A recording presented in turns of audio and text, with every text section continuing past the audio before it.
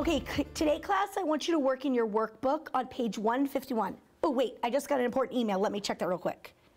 Um, oh, I don't want anyone to see that.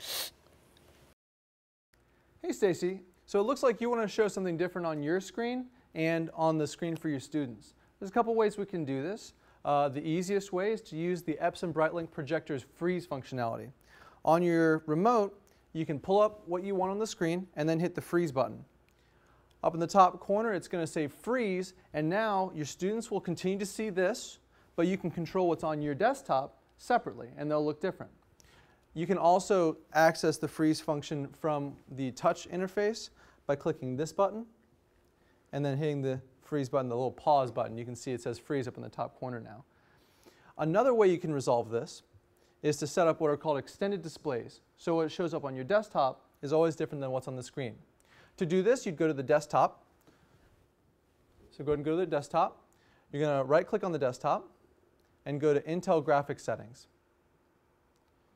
From the Intel graphics settings, we're going to go to multiple displays and select extend to desktop.